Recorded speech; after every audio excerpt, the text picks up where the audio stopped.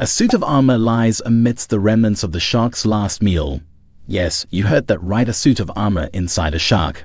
In 2015, a suit of medieval armor, dating back to the 16th or 17th century, was discovered in the stomach of a tiger shark caught off the coast of Wales.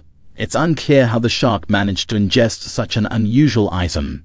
In this case, it seems that the shark mistook the armor for a potential meal and swallowed it whole. Regardless of its origin, the fact that a shark ingested such a heavy and bulky object is mind-boggling. This discovery serves as a stark reminder that sharks are more than just powerful predators. They are also curious creatures that can unintentionally become collectors of strange items.